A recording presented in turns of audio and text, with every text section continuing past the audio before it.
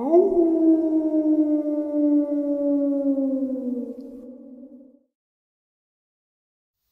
Greetings and salutations, everyone. I hope everyone is still doing well, and depending on wherever you may live, welcome to this bonus middle of the night or bonus early morning.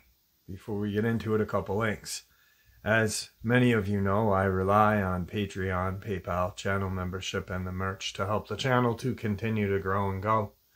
Links to Patreon, PayPal, and channel membership is in the description below merch displayed directly under the video. Also, Dogman Frightening Encounters, Volume 1 through 3, the audiobook versions.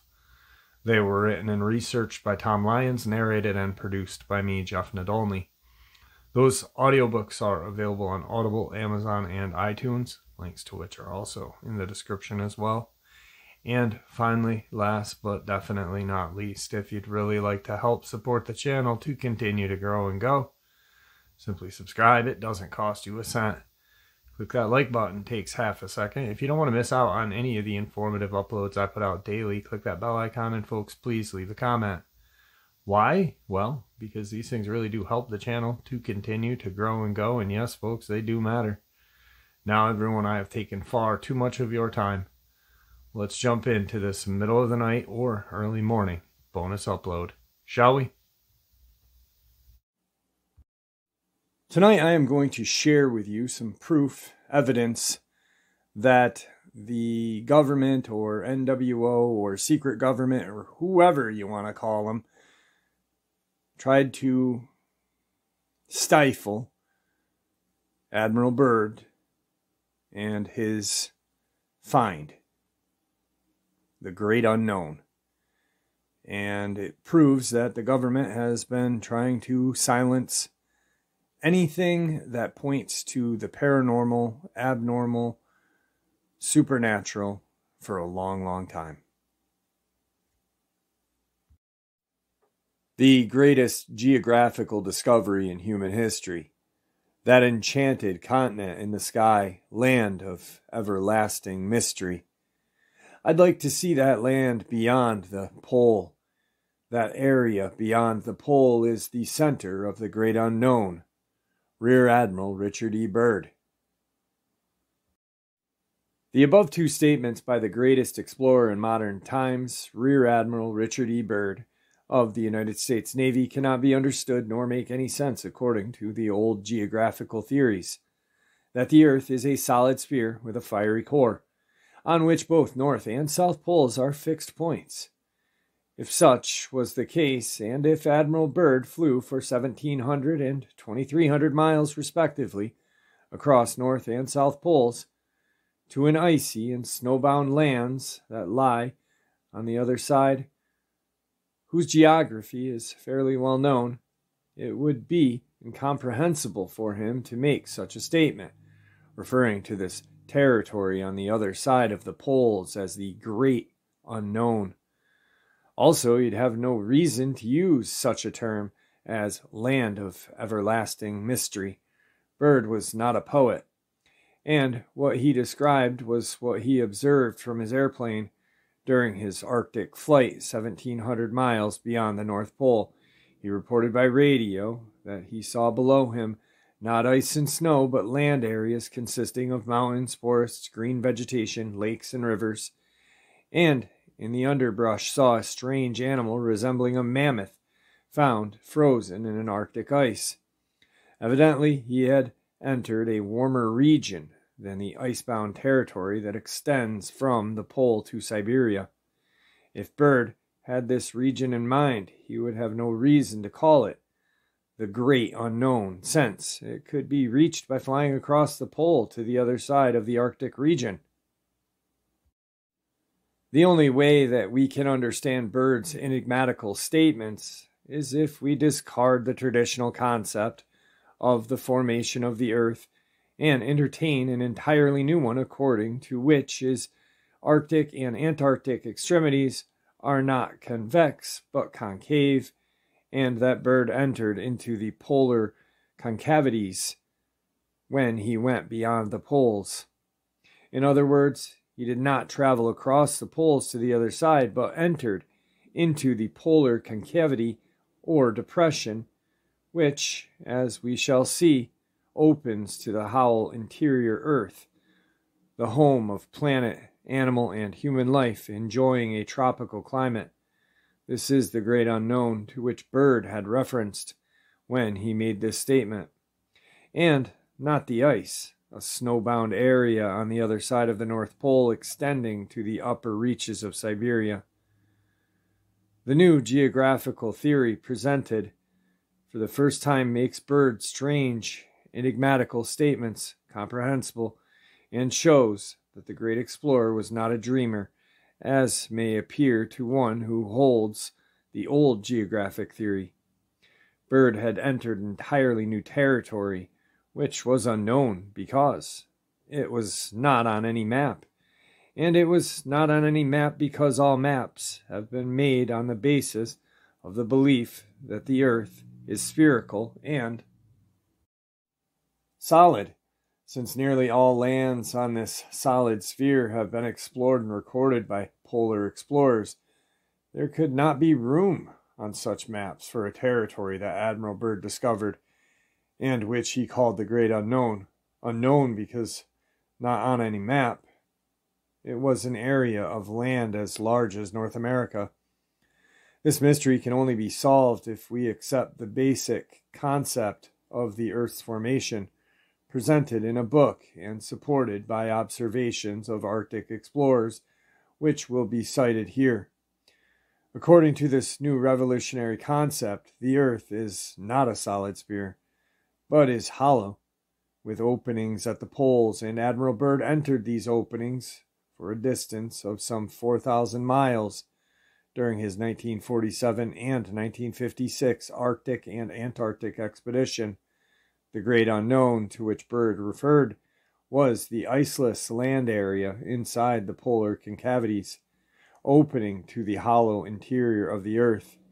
If this concept is correct, as we shall attempt to prove, then both North and South poles cannot exist, since they would be in midair, in the center of the polar openings, and would not be on the Earth's surface. This view was first presented by an American writer, William Reed, in a book, Phantom of the Poles, published in 1906, soon after Admiral Peary claimed to have discovered the North Pole and denying that he really did. In 1920, another book was published written by Marshall Gardner called A Journey to the Earth's Inner, or Have the Poles Really Been Discovered, making the same claim. Strangely, Gardner had no knowledge of Reed's book and came to his own conclusions independently. Both Reed and Gardner claimed that the earth was hollow, with openings at the poles, and that in its interior lives a vast population of millions of inhabitants, composing of an advanced civilization. This is probably the great unknown to which Admiral Byrd referred. To repeat, Byrd could not have had any part of the earth's known surface in mind when he spoke of the great unknown, but rather a new, hitherto unknown land area, free from ice, snow, with green vegetation, forests, and animal life that exists nowhere on Earth's surface but inside the polar depression, receiving its heat from the hollow interior, which has a higher temperature than the surface, with which it communicates. Only on a basis of this conception can we understand Admiral Byrd's statements. In January 1956, Admiral Byrd led another expedition to the Antarctic and there penetrated for 2,300 miles beyond the South Pole. The radio announcement at this time, January 13th, 1956, said on January 13th, members of the United States expedition penetrated a land extent of 2,300 miles beyond the pole. The flight was made by Rear Admiral George Dufek of the United States Navy Air Unit. The word beyond is very significant and will be puzzling to those who believe in the old conception of the solid earth. It would then mean the region on the other side of the Antarctic continent and the ocean beyond, and would not be a vast new territory, nor would his expedition that found this territory be the most important expedition in history of the world. The geography of Antarctica is fairly well known, and Admiral Byrd has not added any significant to our knowledge of the Antarctic continent. If this is the case, then why should he make such an apparently wild and unsupported statement, especially in view of his high standing as a Rear Admiral of the United States Navy and his reputation as a great explorer? This enigma is solved when we understand the new geographic theory of a hollow Earth, which is the only way we can see any sense into Admiral Byrd's statements and not consider him as a visionary who saw mirages in the polar regions, or at least imagined he did. After returning from his Antarctic expedition on March 13, 1956, Byrd remarked, The present expedition has opened up a vast new land. The word land is very significant.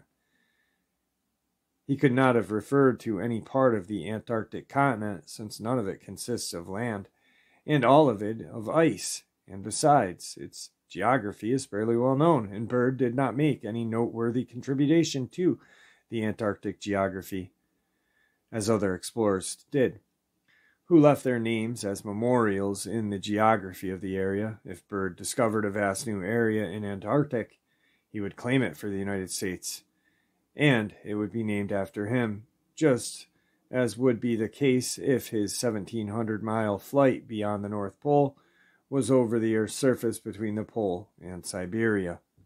But we find no such achievements to credit of this great explorer, nor did he leave his name in the Antarctic or Arctic geography to the extent that this statement about discovering a vast new land would indicate. If his Antarctic expedition opened up a new immense region of ice on a frozen continent in Antarctica, it would not be appropriate to use the word land, which means an iceless region similar to that over which Byrd flew for 1700 miles beyond the North Pole, which had green vegetation, forests, and animal life. We may therefore conclude that his 1956 expedition for 2300 miles beyond the South Pole was over similar iceless territory not recorded on any map and not over any part of the Antarctic continent. The next year, in 1957, before his death, Byrd called this land beyond the South Pole not ice on the other side of the South Pole, that enchanted continent in the sky, land of everlasting mystery. He could not have used this statement if he referred to part of the icy continent of Antarctica that lies on the other side of the South Pole. The words everlasting mystery obviously refer to something else. They refer to the warmer theory not shown on any map that lies inside the South Pole opening leading to the hollow interior of the Earth. The expression that enchanted continent in the sky obviously refers to the land area and not ice. Mirrored in the sky, which acts as a mirror, a strange phenomenon observed by many polar explorers who speak of a island in the sky or water sky, depending or whether the sky of polar regions reflects land or light. If Byrd saw the reflection of water or ice, he would not use the word continent, nor call it an enchanted continent. It was enchanted because, according to accepted geographical conceptions. This continent, which Byrd saw reflecting in the sky, where water globules act as a mirror for surface below, could not exist. We shall now quote from Ray Palmer, editor of Flying Saucer magazine and a leading expert on flying saucers, who is of the opinion that Admiral Byrd's discoveries in the Antarctic and Arctic regions offer an explanation of the origin of flying saucers, which he believes do not come from other planets but from Howell interior Earth, where exists an advanced civilization far in advance of us, using flying saucers for aerial travel, coming to the outside of the Earth through the polar openings. Palmer explains his views as follows. How well known is the Earth? Is there any area on the Earth that can be regarded as a possible origin of flying saucers? There are two. The two major areas of importance are the Antarctic and the Arctic. Admiral Byrd's two flights over both poles prove that there is a strangeness about the shape of the Earth in both polar areas. Byrd flew to the North Pole, but did not stop there and turned back, but went for 1700 miles beyond that, and then retraced his course to his Arctic base due to his fuel supply running low. As progress was made beyond the pole point, iceless land,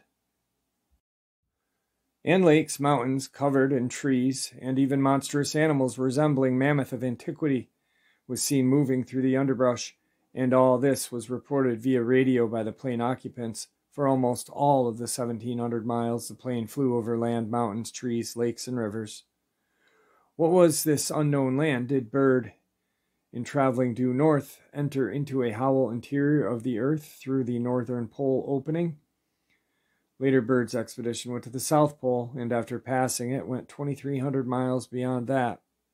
Once again, we have a we have penetrated an unknown and mysterious land which does not appear on today's maps. And once again, we find no announcement beyond the initial announcement of the achievement. And strangest of all, we find the world's millions absorbing the announcements and registering a complete blank insofar as curiosity is concerned. Here, then, are the facts. At both poles exist unknown and vast land areas, not in the least uninhabitable, extending distances which can only be called tremendous because they encompass an area larger than any known continent. The North Pole Mystery Land, seen by Byrd and his crew, is at least 1,700 miles across its traverse direction and cannot be conceived to be a narrow strip. It is an area perhaps as large as the entire United States. In the case of the South Pole, the land traversed beyond the pole included an area as big as the North America, perhaps the South Polar Continent, the flying saucers could come from these unknown lands beyond the poles. It is the opinion of the editor of Flying Saucer magazine that the existence of these lands cannot be disproved by anyone considering the facts of the two expeditions which have been outlined. If Rear Admiral Byrd claimed that his South Pole expedition was the most important expedition in history of the world, and if, after he returned from this expedition, he remarked, The present expedition has opened up a new vast land.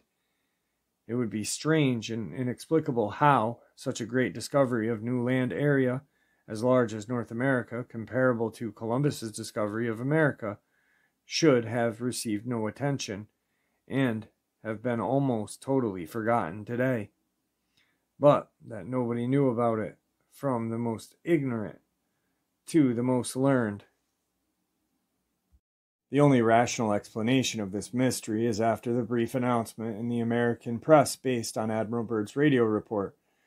Further publicity was suppressed by the government in whose employ Byrd was working, and which had important political reasons why Admiral Byrd's historic discovery should not be made known to the world, for he had discovered two unknown land areas measuring a total of 4,000 miles across and probably as large as both North and South American continents, since Byrd's planes turned back without reaching the end of his territory not recorded on any map.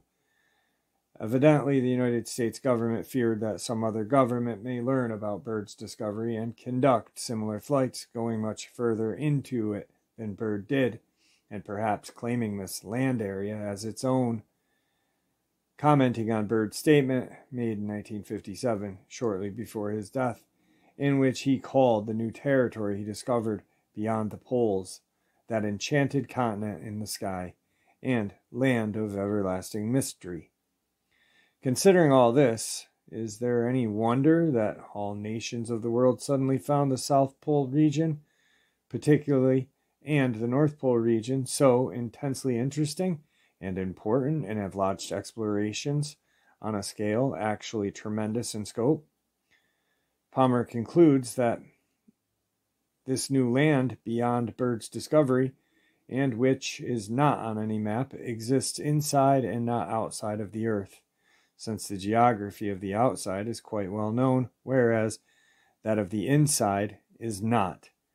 For that reason, Byrd called it the Great Unknown, after discussing the significance of the use of the term beyond, the pole of Byrd instead of across the pole to the other side of the Arctic and Antarctic region. Palmer concludes that what Byrd referred to was the unknown land area inside the polar concavity and connecting with the warmer interior of the Earth, which accounts for its green vegetation and animal life. It is unknown because it is not on the Earth's outer surface and hence is not recorded on any map. In February of 47, Admiral Richard E. Byrd the one man who has done the most to make the North Pole a known area, made the following statement I'd like to see the land beyond the, the pole. The area beyond the pole is the center of the great unknown. Millions of people read this statement in their daily newspapers, and millions thrilled at Admiral's subsequent flight to the pole and to a point of 1,700 miles beyond it. Millions of the heard the radio broadcast description of the flight, which was also published in newspapers. What land was it? Look at your map, calculate the distance from all the known lands we have previously mentioned Siberia, Spitsbergen, Alaska, Canada, Finland, Norway, Greenland, and Iceland. A good portion of them are all well within that 1700 mile range but none of them are within 200 miles of the pole. Byrd flew over no known land. He himself called it the great unknown. And great it is indeed. For after 1700 miles over land, he was forced by gasoline shortage to return, and he had not yet reached the end. He should have been back to civilization, but he was not. He should have seen nothing but ice covered oceans, or, at the very most, a partially open sea. Instead, he was over mountains covered with forests, forests incredible. The northernmost limit of the timberline is located well down into Alaska, Canada, and Siberia. North of that line, no trees grow. All around the North Pole, the trees do not grow within 1700 miles of the pole. What have we here? We have a well authenticated flight of Admiral Richard E. Byrd to a land beyond the pole that he so much wanted to see because it was the center of the great unknown, the center mystery. Apparently, he had his wish granted to its fullest, yet today nowhere is this mysterious land mentioned. Why? Was that 1947 flight fiction? Did all the newspapers lie? Did the radio from Byrd's plane lie? No. Admiral Byrd did fly beyond the pole. Beyond. What did the Admiral mean when he used that word? How is it possible to go beyond the pole? Let's consider this for a moment. Let us imagine that we are transported by some miraculous means to the exact point of the northern magnetic pole. We arrive here instantaneously, not knowing from which direction we came, and all we know is that we are a, we are to proceed from the pole to Spitzenbergen. But where is Spitzenbergen? Which way do we go? South, of course. But which south? All directions from north are south. This is actually a simple navigational problem. All expeditions to the pole, whether flown or by submarine or on foot, have been faced with this problem. Either they must retrace their steps or discover which southerly direction is the correct one to their designation. Wherever it has been determined to be, the problem is solved by making a turn in any direction and proceeding approximately 20 miles. Then we stop, measure the stars, cal- calculate with our compass reading, which no longer points straight down, but toward the north magnetic pole, and plot our course on the map then it is a simple matter of then it is a simple matter to proceed proceed to Spitzenbergen by going south. Admiral Byrd did not follow this traditional navigational procedure. When he reached the pole, he continued for 1,700 miles. To all intents and purpose, he continued on a northerly course after crossing the pole, and weirdly it stands on record that he succeeded, or he would not see the land beyond the pole, which to this day, if we are to scan the records of newspapers, books, radios, televisions, word of mouth, has never been revisited. That land on today's map cannot exist, but since it does, we can only conclude that today's maps are incorrect, incomplete, and do not represent the true picture of the Northern Hemisphere. Having thus located a great landmass in the north, not on any map today, a land which is the center of the great unknown, which can only be construed to imply that the 1709 mile extent traversed by Byrd is only a portion of it. Such an important discovery, which Byrd called the most important in the history of the world, should have been known to everyone if information about it was not suppressed to such an extent, and it was almost completely forgotten until Gianni mentioned it in his book Worlds Beyond the Poles, published in New York, 1959. Similarly, Gianni's book, for some strange reason, was not advertised by the publisher and remained unknown. At the end of the same year, 1959, Ray Palmer, editor of Flying Saucer magazine, gave publicity to Admiral Byrd's discovery, about which he learned in a copy of Gianni's book he read. He was so impressed that in December of that year he published this information in his magazine, which was for sale on newsstands throughout the United States. Then followed a series of strange incidents indicating that secret forces were at work to prevent the information contained in the December issue of Flying Saucer magazine derived from Gianni's book to reach the public. Who were these strange forces that have a special reason to suppress the release of information about Admiral Byrd's great discovery of new land areas not on any map? Obviously, they are the same forces that suppress news release for information except for the brief press notice after Byrd made his great discovery and before Gianni published the first public statement about it in many years in 1959, 12 years after the discovery was made. Palmer's announcement of Byrd's discovery in the Arctic and Antarctic was the first large scale publicity since the time they were made and briefly announced, and so much more significant than Gianni's quotations and statements in his book that was not properly advertised and enjoyed a limited sale. For this reason, soon after the December 1959 issue of Flying Saucers was ready to mail to subscribers and placed on newsstands, it was mysteriously re- removed from circulation, evidently by the same secret forces that suppressed the public release of this information in 1947. When the truck arrived to deliver the magazines from the printer to the publisher, no magazine were found in that truck. A phone call by the publisher, Mr. Palmer, to the printer resulted in his not finding any shipping receipt, providing proving statement has been made. Shipment has been made, excuse me. The magazines had been paid for. The publisher asked the printer return the plates to the press and run off more copies but strangely the plates were not available, and were so badly damaged that no reprinting could be made. But where were thousands of magazines that had been printed and mysteriously disappeared? Why was there no shipping receipt? If it was lost and the magazines were sent the wrong address, that would they would turn up somewhere, but they didn't. As a result, 5,000 subscribers did not get their magazine.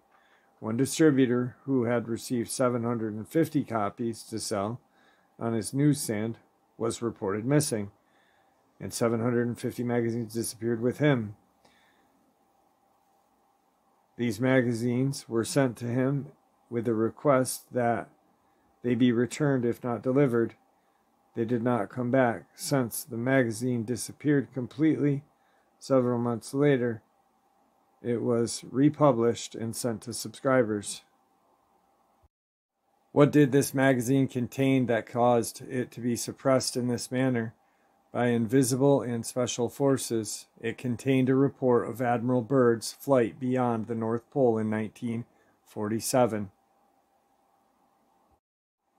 So the first printing of the magazine completely disappeared, and the second printing did not have this report of Admiral Byrd's flight, which is very strange.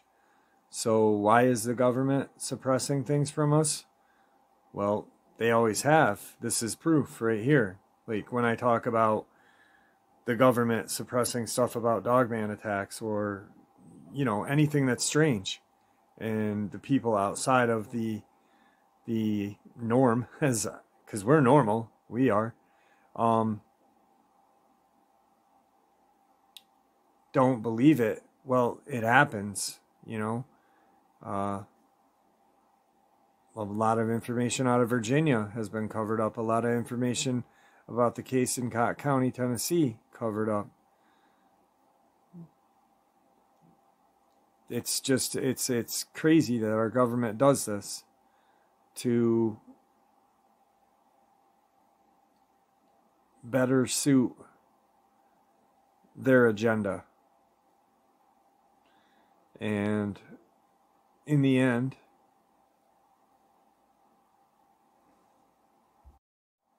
the government will always hide things from us that it wants to be kept secret. Might not even be our government, the government we know. It may be the secret government, NWO. Who knows? All I know is this is proof that it's been going on for a very long time 80 something years, right here with proof. Admiral Byrd's recorded flight plan just mysteriously covered up and disappeared. And log. Hmm. Go figure, right? All right, folks, I hope you enjoyed this as much as I enjoyed sharing it with you and, well, just learning as much as I can about these topics. Uh, these are some of my favorite topics Admiral Byrd, um, the kind of missing or undisclosed military bases in the Arctic fits right in with the DUMBs, deep underground military bases. They all have a connection to the agenda, uh, that is the alien agenda and the one world government. With that being said, thank you once again for supporting the channel. Your support is honestly what makes this channel continue to grow and go and what gives people a place to share their experiences, theories, and ideas with zero ridicule, zero judgment, just 100% respect that we all deserve. That's because of you guys, the community you have created in the comment section. Thank you so much. Please, everyone, stay safe, happy, healthy, and ever vigilant, keeping an eye on our children, pets, family, and friends. These creatures are real, they are out there, and they are dangerous. Share this information with those you love and care about, and it may just help save their lives someday. Until next time, never stop asking questions, never stop searching for the answers, and God bless.